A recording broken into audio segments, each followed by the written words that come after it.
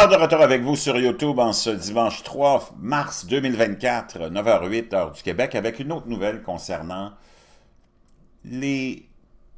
En tout cas, l'évidence qu'on veut nous amener dans un conflit direct avec euh, la Russie, mais on le sait déjà, on est déjà dans un environnement de troisième guerre mondiale. Maintenant, c'est au tour de la Finlande. Imaginez-vous, le nouveau membre euh, de l'OTAN, la Finlande, affirme que l'Ukraine a le droit d'utiliser ses armes pour attaquer le sol russe. Ce n'est qu'en avril dernier que la Finlande est officiellement entrée dans l'OTAN en tant que 31e membre de l'alliance militaire. Cette semaine, Moscou a annoncé qu'elle prenait des mesures militaro-techniques supplémentaires le long de sa frontière avec la, Scandinavie, également en réponse à la récente approbation de l'adhésion de la Suède. Mais la Finlande est déjà prête à adopter une posture belliqueuse qui ne fera qu'alimenter les tensions déjà croissantes avec la Russie, centrée sur la guerre par procuration en Ukraine. La chaîne de télévision finlandaise euh, Yele a rapporté jeudi que le gouvernement avait donné son accord pour que les forces ukrainiennes utilisent les armes finlandaises pour lancer des attaques sur le territoire russe.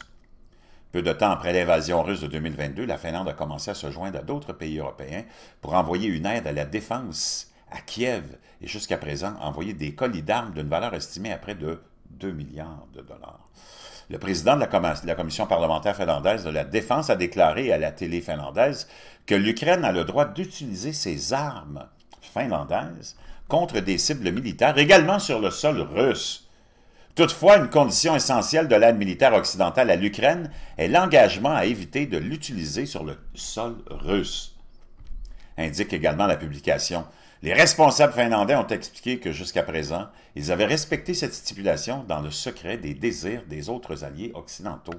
Donc là, on veut vraiment nous amener dans un conflit direct. On le voit, la Russie, qui dérange personne, fait ses affaires, les Russes veulent vivre en paix, les Russes ont une économie florissante, euh, les Russes sont, en tout cas ce qu'on a vu de Moscou, ça semble être euh, presque l'endroit rêvé où aller vivre. Nous, nos pays occidentaux sont en complète déconfiture sociale, le tissu social est complètement euh, effondré, on vit dans la peur, on vit dans l'inquiétude, on vit dans la folie, dans la déchéance, les gens n'ont qu'une idée en tête, c'est de se faire tatouer se saouler la gueule, consommer de la drogue, consommer des médicaments, consommer du sexe.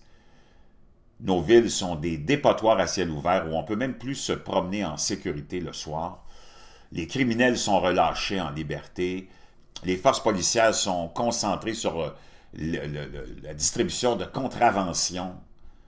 C'est le monde complètement parfait pour l'élite qui veut tenir la population dans la peur dans euh, l'anxiété. On n'a jamais voté pour ces politiques-là, mais ça avance, ça avance. C'est complètement hallucinant de voir ça. Et on a vu que la Russie fait ses affaires, a développé un marché, ont développé un, presque la moitié de l'ensemble de la population et des gouvernements non alignés se sont réunis dans plusieurs autres euh, organisations commerciales, sont en train de toutes les sanctions contre la Russie n'ont eu aucun effet. On s'est mis le nez dans quelque chose qui ne nous regardait pas. On a sacrifié encore là des centaines de milliers de vies ukrainiennes inutilement pour plaire et enrichir le complexe militaro-industriel américain et européen. Ces gens-là n'ont aucune considération pour la vie humaine. Là, on se retrouve, nous autres, avec des économies en effondrement, une classe moyenne qui est dans le, lisier jusqu'aux oreilles. Nos gouvernements attaquent les fermiers, les agriculteurs veulent les dépouiller, veulent les ruiner.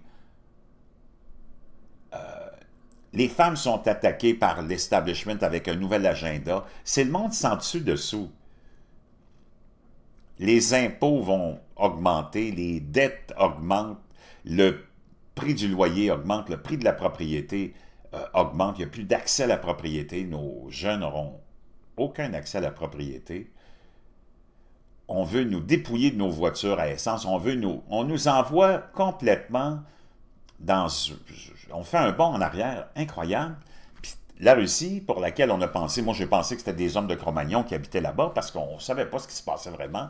On a découvert que c'est raffiné, le coût de la vie n'est pas élevé, les gens sont calmes, les gens vivent leur vie, euh, ont accès à des restaurants, des magasins propres, euh, contemporains, luxueux.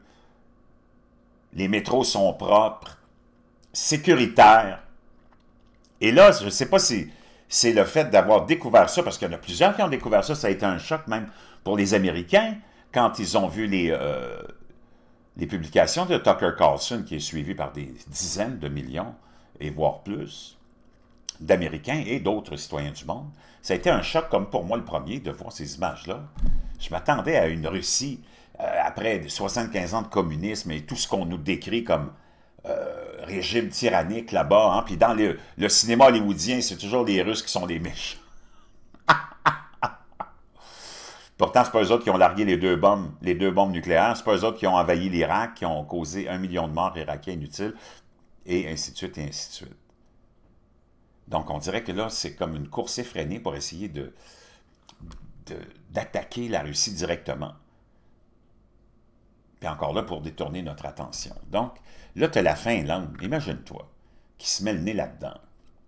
Au cours des derniers mois, on a assisté à une augmentation des attaques transfrontalières contre les infrastructures énergétiques russes, mais aussi contre les zones civiles de villes comme la ville de Belgorod, près de la frontière. Cela a fait de nombreuses victimes civiles. Après quoi, la Russie mène généralement des vastes frappes aériennes contre les villes ukrainiennes, patati patata, la propagande, ainsi de suite, ça se continue. Mais on le voit, on veut nous amener dans ce conflit-là. Je ne sais pas qu'est-ce qui est derrière ça, qu'est-ce que vous en pensez, mais ça sent vraiment pas bon. Vraiment, vraiment pas bon. La Finlande, vraiment, wow!